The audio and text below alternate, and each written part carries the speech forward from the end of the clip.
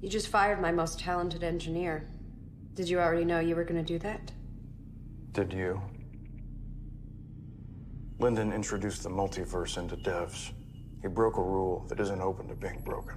He used exceptionally beautiful mathematics. To make near infinite variations on our history.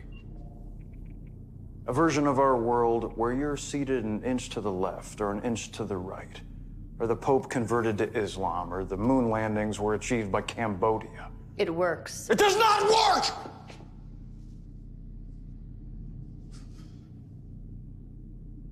It does not work.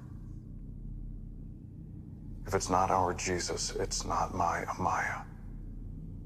And does every hair on her head matter? Yes, it does. I broke a rule today, too. Just now. I took Lyndon's many worlds algorithm for sound waves. And I applied it to light waves.